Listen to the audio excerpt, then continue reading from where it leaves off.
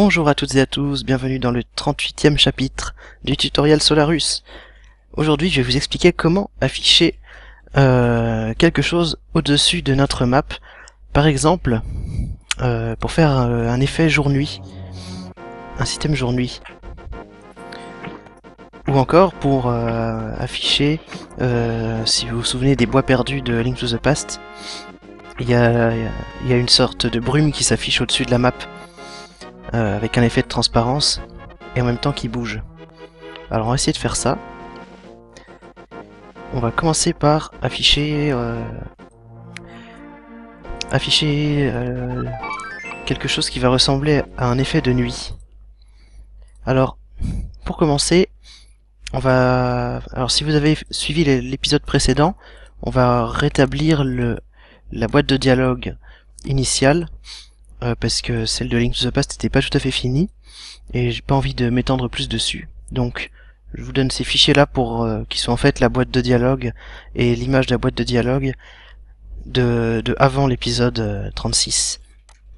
Plus cette image là dont on aura besoin tout à l'heure dans cet épisode. Donc vous prenez les trois répertoires comme d'habitude, copier-coller, et voilà. Et donc là si vous lancez le jeu, vous avez l'ancienne boîte de dialogue. Mais si vous voulez garder la nouvelle et que vous l'avez améliorée, bien sûr, euh, vous n'êtes pas obligé de faire ce que je viens de faire. Prenez juste ce fichier-là dont on aura besoin tout à l'heure pour euh, faire un, euh, la brume de la forêt. Ça sera ça. Alors, on va ouvrir notre map, notre map. Hmm. La map extérieure actuelle qui est Outside West, si je me souviens bien. Euh, ça doit être ça. Hein. On va vérifier quand même. D'ailleurs, il y a une nouveauté, il y aura une nouveauté dans Solarus 1.2, enfin beaucoup de nouveautés dans l'éditeur, mais entre autres, vous pourrez euh, euh, modifier l'ordre des maps ici en faisant glisser celle-ci là, par exemple, pour mettre les maps extérieures ensemble, les maps de donjons ensemble, et ainsi de suite. Donc euh, non, c'est pas Outside West, c'est Outside East que je voulais. On va essayer de faire un effet jour-nuit sur cette map là. Alors. Euh... Ah oui, elle s'appelle Test Map. Un jour, faudra faire du nettoyage dans tout ça, mais c'est pas grave. Test Map, c'est pour ça que je la trouvais pas. Alors. On va créer une image avec sol.surface.create. Donc ça c'est des petites révisions parce que normalement vous connaissez déjà. Une image qui fait la taille de l'écran, 320 par 240. Euh, local, j'ai oublié de donner un nom à ma variable. Je vais l'appeler overlay puisque c'est une image qui va s'afficher au-dessus de la map. Et euh, c'est une image qui va simplement euh, on va commencer par afficher un effet de nuit, comme je vous disais. Alors on va la remplir avec une couleur. Donc pour ça vous faites fill color et en paramètres il faut lui passer un tableau avec les trois valeurs rouge, vert, bleu de l'autre couleur entre 0 et 255 chacune.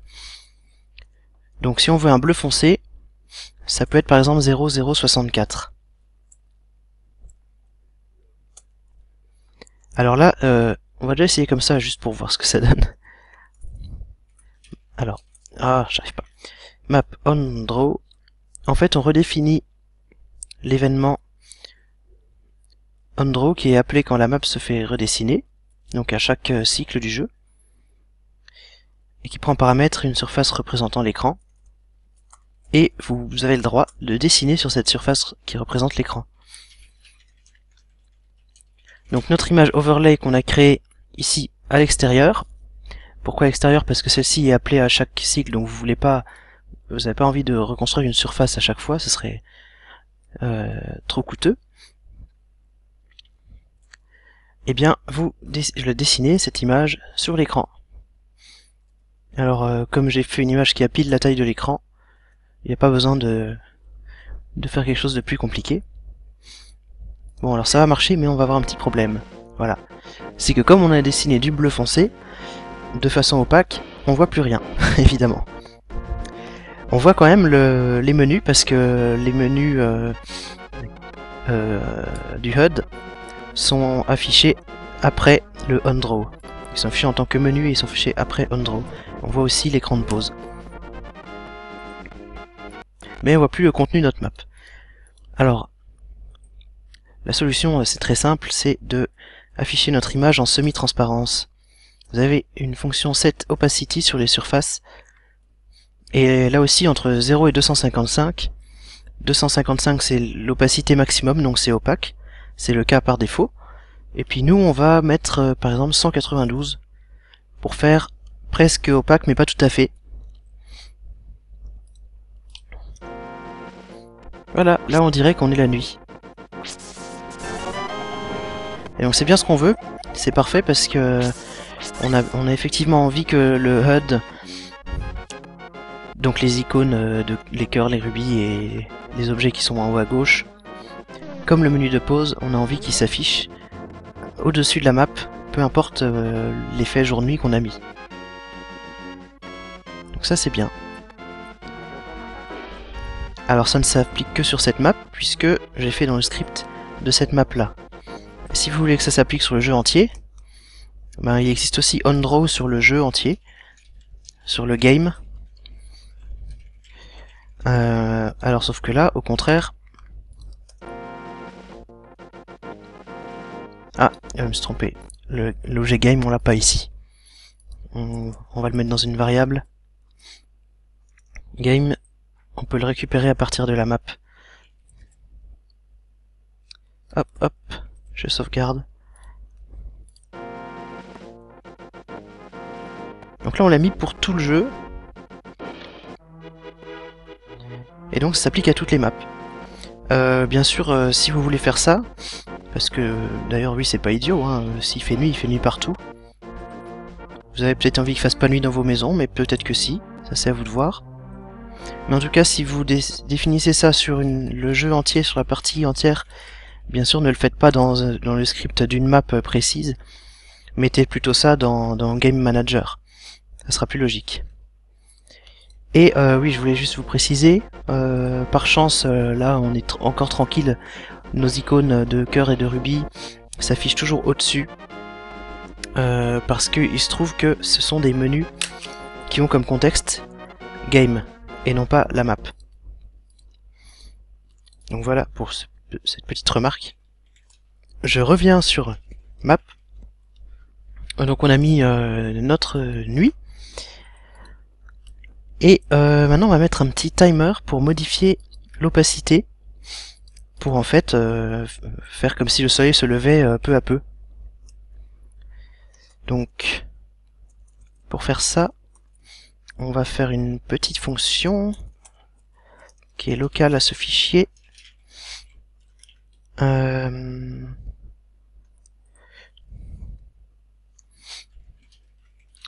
on va dire, je sais pas comment l'appeler moi, update night.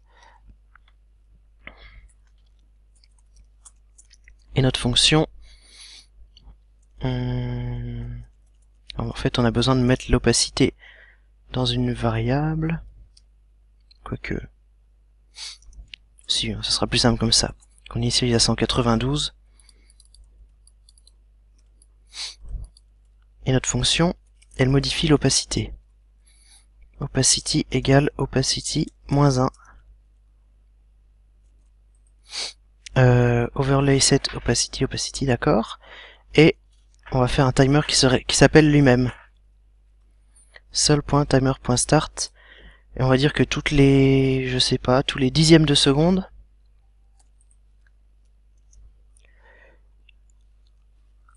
on diminue l'opacité ah ça rame on rappelle la fonction. Bien sûr, il faudra s'arrêter quand l'opacité est égale à 0. Donc si on est encore supérieur à 0, alors on rappelle le timer. D'accord? Et il faut l'appeler la première fois depuis ici. D'ailleurs, euh, pour ça plus simple, on peut même l'appeler la fonction directement. Euh, non, pas depuis ici, puisque onDraw est appelé à chaque cycle depuis map onStarted.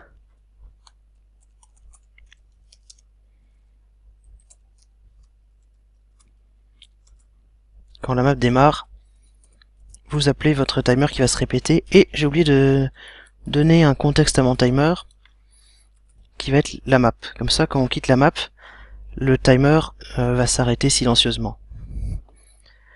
Euh, en fait, si vous le mettez pas par défaut, euh, ça sera c'est justement la map mais il vaut mieux toujours faire attention à ça. Alors, on va essayer.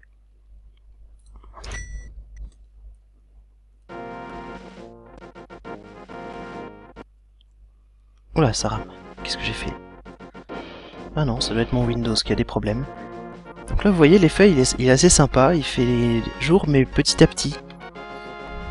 vous pouvez encore augmenter la durée du timer, si vous voulez, pour que ça soit encore plus progressif. Et puis vous pouvez faire quelque chose de plus élaboré, qui est euh, qu'une fois que c'est terminé, au lieu de ne plus rien faire, vous mettez un timer plus long qui correspond à la durée du jour. Et ensuite, euh, vous, euh, vous remettez une opacité euh, pour, pour que la nuit tombe à nouveau et faire un vrai cycle jour-nuit. Vous pouvez très bien faire ça sans problème.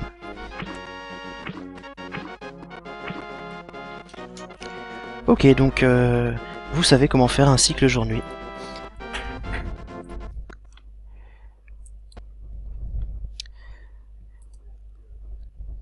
Donc voilà pour ça. Après, on va s'occuper des bois perdus, comme je vous disais au début de l'épisode. Ça rame. Les bois perdus, les bois perdus, les bois perdus. Donc je vous ai mis une, euh, une image overlayforest.png dans Sprite Entities. Donc on va ouvrir notre map de la forêt, notre script de map de la forêt. Lost Woods. Hmm. On va reprendre ce code-là, à peu près. D'ailleurs, je l'enlève. J'enlève de la, map de test parce que c'était juste un test. Tac. Et là, on va remettre le même code, euh, sauf qu'il n'y a plus l'histoire de timer. Donc, il n'y a plus besoin de ça map on draw overlay machin. Et la seule différence, ça va être que au lieu de créer une surface, euh, une surface comme ça, vide, et qu'on remplit de bleu, on va créer une surface à partir de notre image. notre image qui s'appelle, euh, alors, entities slash outside forest.png si je me souviens bien. Pareil, on va lui laisser de l'opacité pour, euh, euh, quoique, Hmm. Il me semble que l'image est déjà en semi-transparence par elle-même.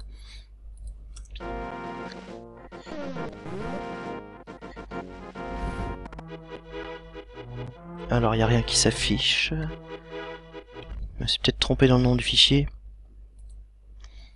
Si on regardait l'erreur. Oula. Beaucoup d'erreurs, c'est tout, tout, le temps la même. Euh, overlay nil value.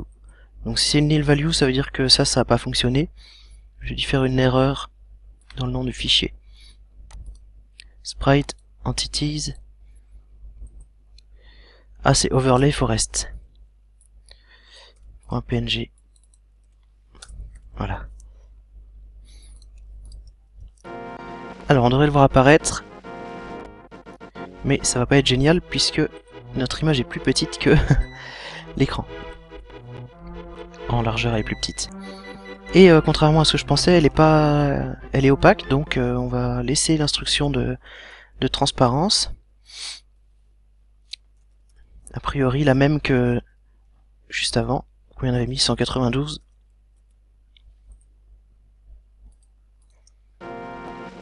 Suspense. Ok, là c'est pas mal. Donc étape suivante, on va répéter notre image pour qu'elle remplisse tout l'écran. En fait, on va, voir large, on va la répéter euh, plus que nécessaire. Parce qu'après, on s'amusera à la faire bouger. Donc dans le on draw, au lieu de dessiner une seule fois notre image overlay, on va dessiner plusieurs fois. Euh,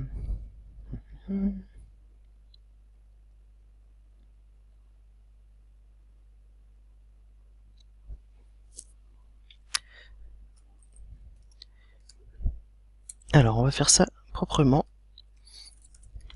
Overlay with, overlay height. D'abord récupérer les dimensions de notre surface pour savoir combien de fois on veut le... il faudra la répéter. Égal overlay get size.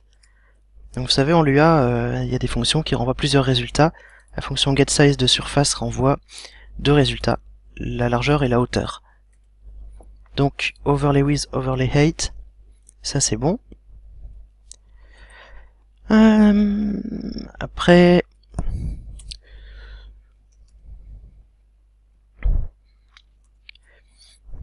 on va faire une variable x qui va être, alors je vous ai dit on va voir large, on va afficher deux fois l'overlay avant l'écran et deux fois après.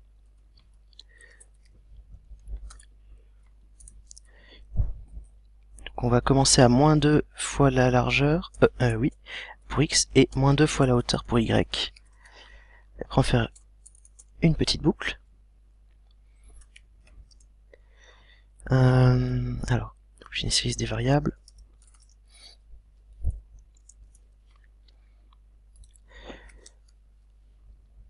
Donc on va itérer tant que DSTY euh, euh, alors attendez, il me faut aussi la taille de l'écran. Euh, screen with screen height égale tst surface get size.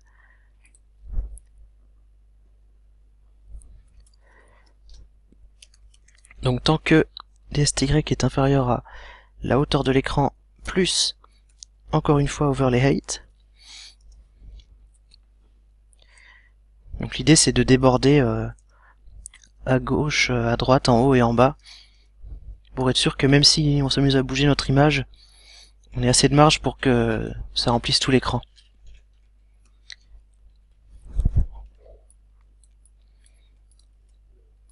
Bien sûr, il n'y a aucun problème à, afficher une image en dehors de l'écran, c'est juste que la partie qui est en dehors ne se verra pas.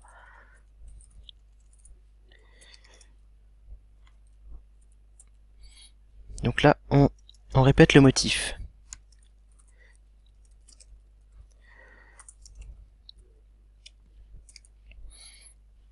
Alors euh, évidemment, ça, ça fonctionne que si votre image PNG euh, se répète, c'est-à-dire que ce point-là colle bien avec celui-là, celui-là colle bien avec celui-là, pareil en hauteur. Si vous regardez l'image, euh, c'est fait exprès pour. C'est une image répétable.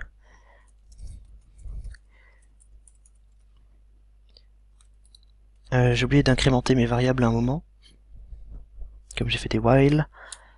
Donc dstx est égal à dstx plus la largeur. Même chose pour Y.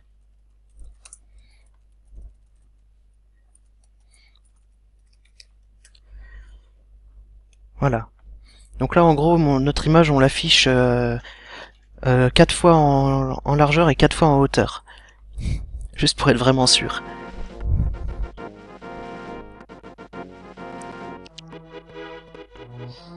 Euh, ça ne marche pas du tout. Il continue à l'afficher une seule fois. En plus, il a pas mis, on dirait, il a pas mis de transparence. Qu'est-ce que j'ai fait? Ça ne marche pas du tout. En plus, il n'y a pas de nouvelle erreur. C'est toujours les mêmes, les mêmes erreurs.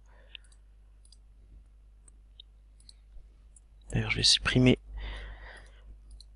euh, je comprends pas parce que pourtant j'ai bien mis l'opacité et tout et tout et tout.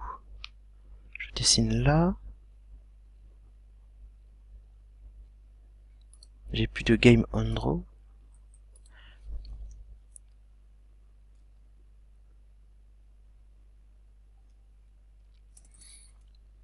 J'ai essayé de, de ne rien faire du tout. Ok.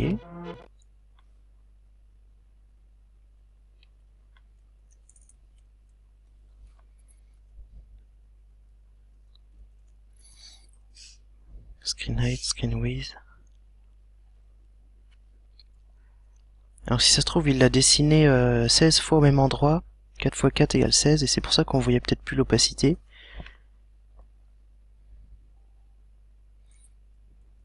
Si j'ai fait une erreur, de, calcul ou de code. Sauf que là, je vois pas trop où est l'erreur.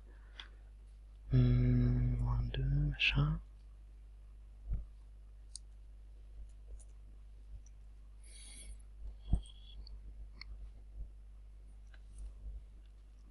Ah Évidemment.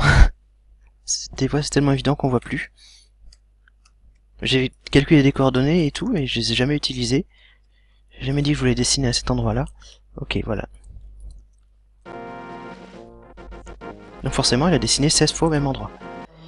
Ah, là c'est mieux. Je trouve que c'est un peu trop opaque euh, quand même.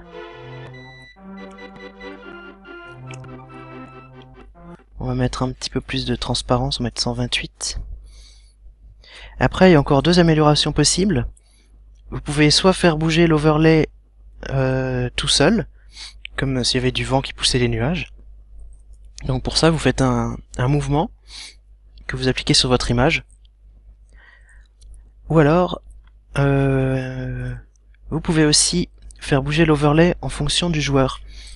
Euh, le faire défiler pour donner un effet de profondeur quand le joueur se déplace. Ou encore mieux, vous pouvez faire les deux à la fois. Euh, nous, on va faire que l'overlay se déplace en même temps que le joueur pour donner un effet de profondeur. Alors pour ça, euh, on va légèrement changer notre code. En fait, au lieu de partir de, de moins 2 overlay width, on va calculer x et y en fonction de la position du héros. Euh, plus précisément en fonction de la position de la caméra.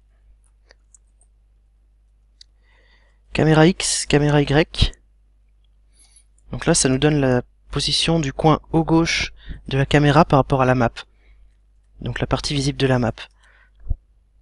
Euh, map, get caméra, position.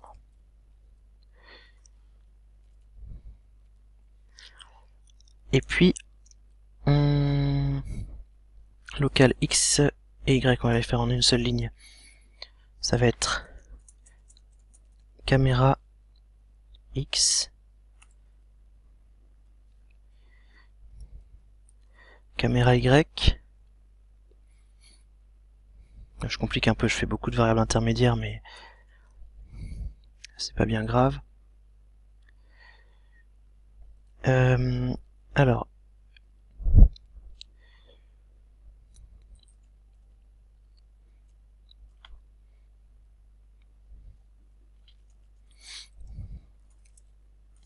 x égale...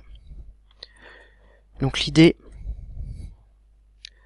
c'est que les nuages défilent légèrement plus vite que la caméra. Donc pour ça, on va multiplier x par 1,5.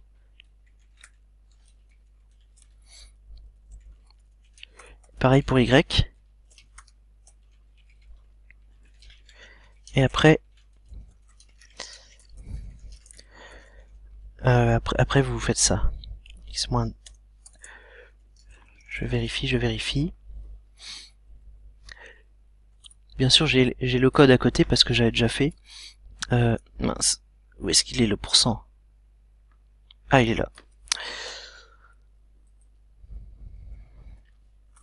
Overlay with.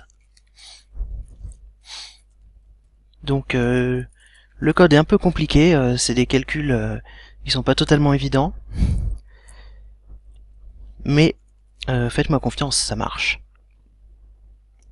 Ça, c'est une opération de modulo, c'est le reste de la division.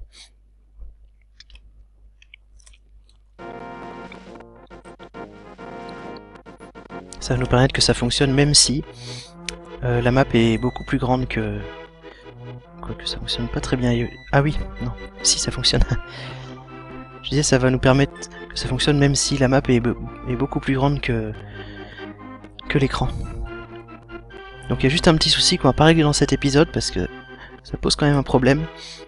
C'est que quand on passe ici, vous vous souvenez, il y a le, la téléportation cachée qui fait qu'on se perd dans les bois et du coup il y a un décrochage des nuages. Alors pour corriger ce décrochage, il faudrait appliquer manuellement, euh, corriger manuellement le, le X et Y euh, au moment où on, où on passe sur le, le capteur. Alors euh, ça, ça commence à devenir vraiment compliqué mais c'est faisable. Et je vous donnerai un lien dans la description de la vidéo euh, d'une map de bois perdu qui fait exactement ça dans un autre dans jeu. Ok.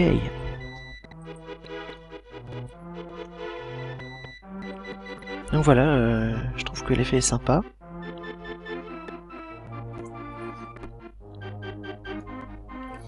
Voilà, voilà. Euh, on pourrait aussi s'amuser à ajouter un mouvement, comme je vous disais, ce qui est d'ailleurs euh, plus facile que ce qu'on vient de faire, parce que pour trouver ces formules-là, euh, faut quand même un peu réfléchir. mais euh, comme on n'a plus trop le temps, euh, je vais pas vous le faire, mais encore une fois, euh, c'est fait dans le, dans le lien que je vais vous mettre dans la vidéo. Voilà, et ben je vous remercie. J'espère que vous avez apprécié cet épisode, que vous avez appris des choses. N'hésitez pas à vous amuser, à, à faire vos propres expériences et puis posez-moi des questions. Voilà, merci à tous, salut